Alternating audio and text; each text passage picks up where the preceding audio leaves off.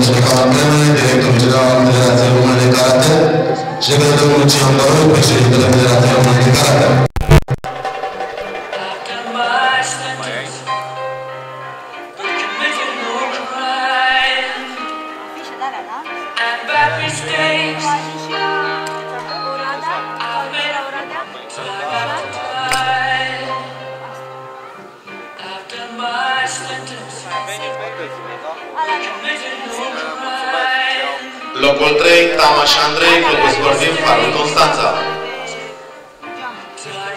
Locul 2, Păunionuț, Clubul Sportiv Otopeni. Și locul 1 și campion național al României, Mihalache Cristian, Clubul Sportiv Scorpion, Clubul Sportiv.